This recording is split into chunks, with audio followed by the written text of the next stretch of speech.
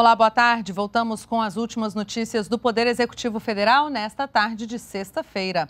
A presidenta Dilma Rousseff está reunida neste momento com governadores de estado. O encontro é no Palácio do Planalto e de lá fala ao vivo o repórter Ricardo Carandina, que tem as informações. Oi, Carandina.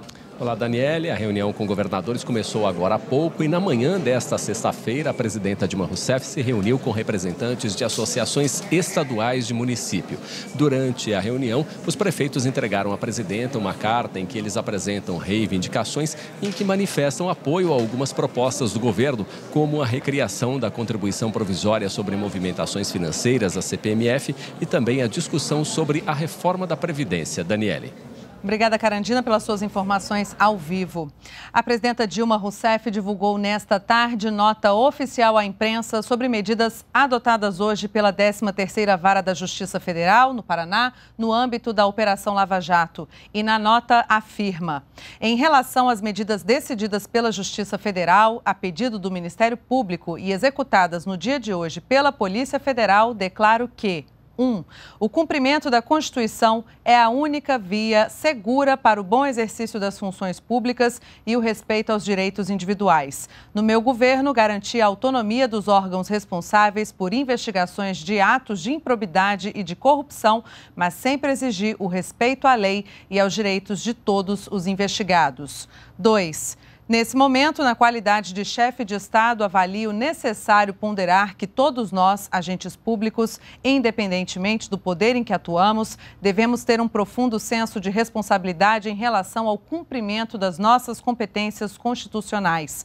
É necessário que as investigações prossigam para final punição de quem deve ser punido. Mas no ambiente republicano e democrático, o protagonismo da Constituição, sob orientação do Supremo Tribunal Federal, constitui importante salvaguarda. O respeito aos direitos individuais passa, nas investigações, pela adoção de medidas proporcionais que jamais impliquem em providências mais gravosas do que as necessárias para o esclarecimento de fatos. Vazamentos ilegais, pré-julgamentos antes do exercício do contraditório e da ampla defesa não contribuem para a busca da verdade, mas apenas servem para animar a intolerância e retóricas antidemocráticas. 3. Por isso, manifesto meu integral inconformismo com o fato de um ex-presidente da República, que por várias vezes compareceu voluntariamente para prestar esclarecimentos perante as autoridades competentes, seja agora submetido a uma desnecessária condução coercitiva para prestar um depoimento.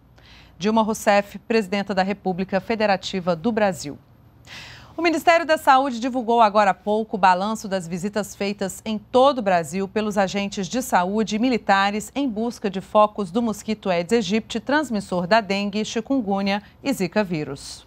O trabalho de monitoramento e controle do mosquito transmissor da dengue, da zika e da chikungunya é feito pela Sala Nacional de Coordenação e Controle. Eu vou conversar com o secretário executivo adjunto do Ministério da Saúde, Neilton Oliveira.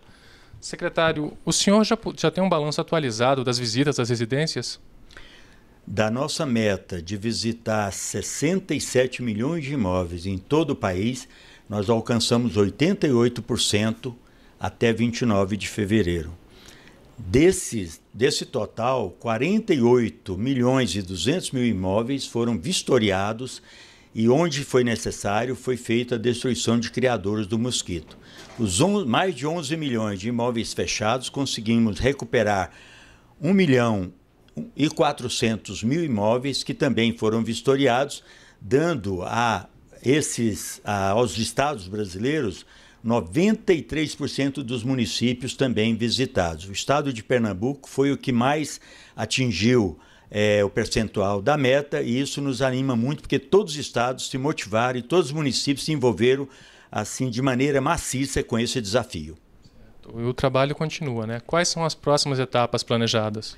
Sim, é um trabalho permanente. Nós estamos cada vez mais conseguindo construir a identidade de que não é uma campanha, é um processo né, de enfrentamento e um desafio que atinge todos, toda a população e todos os setores da sociedade e com protagonismo do governo federal, o apoio maciço dos governos estaduais e municipais, especialmente a mobilização da, da população, nós queremos agora ampliar a criação de salas locais a exemplo do que nós já fizemos em todos os estados. Todos os estados já contam com uma sala estadual que monitoram, que planejam e que dinamizam as ações de combate ao mosquito Aedes aegypti. Obrigado, secretário.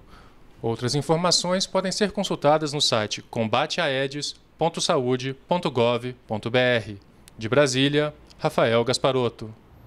Os contribuintes que ainda não entregaram a declaração do imposto de renda da pessoa física devem baixar a nova atualização do programa. A versão mais robusta do aplicativo foi disponibilizada ontem pela Receita Federal. Mas se você já preencheu e transmitiu a declaração, não precisa tomar nenhuma providência, pois a Receita vai adotar medidas para sanar eventuais inconsistências.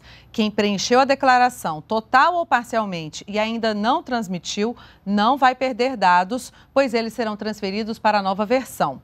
Até às 11 horas da manhã de hoje, 880 mil contribuintes, pessoa física, tinham enviado as declarações para a Receita Federal. Lembrando que o prazo de entrega da declaração vai até 29 de abril. E o supervisor nacional do Imposto de Renda, Joaquim Adir, participou esta manhã do programa Brasil em Pauta, aqui da TVNPR. Ele conversou com rádios de todo o país e falou das novidades desse ano, além de tirar dúvidas sobre a entrega da declaração do Imposto de Renda. O declarante terá que informar o CPF dos dependentes maiores de 14 anos. A segunda novidade está relacionada aos profissionais da área de saúde e os advogados. Esses terão que informar nessa declaração de 2016 é, os valores recebidos de seus pacientes ou clientes, um a um, incluindo o CPF e o valor que recebeu. Essa é uma segunda novidade.